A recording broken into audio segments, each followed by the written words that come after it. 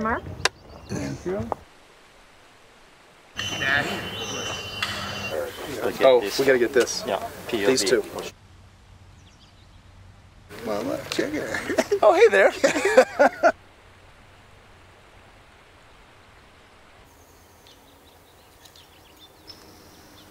You I think, used to Mom, get a it lot of people. CVS. You must have. It was the line. They all showed up together.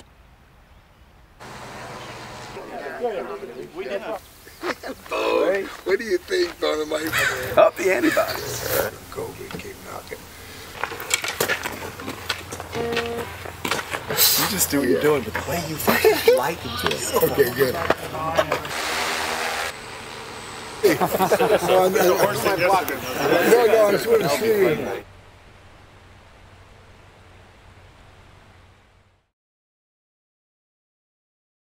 I'm cool. I got tested. I'm good.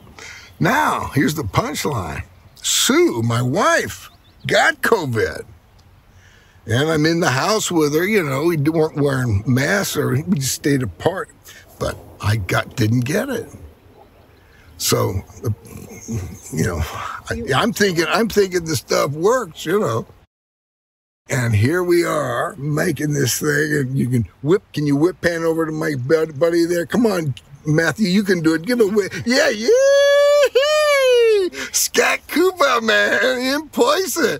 And it's a dream, you know. Here we are making this thing, getting to hang, man. And I love it. And T-Bones, you know, doing the music. So I'm I'm happy on many levels. Not everybody understands what immunocompromised people are going through right now. A lot of the world is trying to move forward and put COVID 19 behind them, but people with compromised immune systems can't do that. Not yet. That's why this Up the Antibodies movement is so important to me.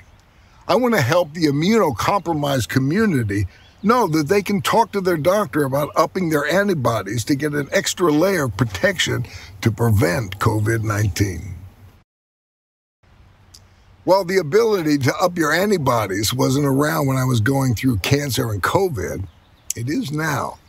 As soon as I could, I upped my antibodies, man, and now I'm feeling more confident to get back to the things I love.